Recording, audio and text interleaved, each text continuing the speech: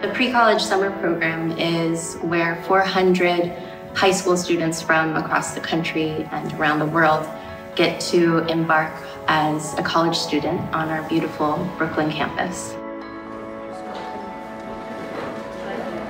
I'm really passionate about fashion. This has been my dream since I could walk.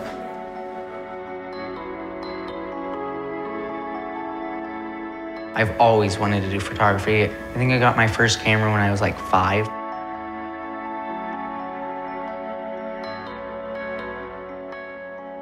You know, at first it was overwhelming to see how good everyone else was, but it's like a really good environment and everyone's like not judgmental. Before I really wanted to go to like a big university, but the Pratt summer program really helped me understand like what's right for me.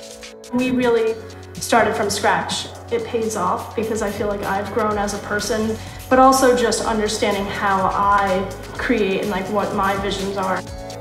It gives you lots of ideas about your career and it's like an opportunity to see what you would like to study during your college years. I really enjoy just the people a lot, like being able to meet other people that share the common interests of art because it's such a hard thing to find. This is where I want to go. This is my dream school, and I plan on coming here. I'm going to make sure I do.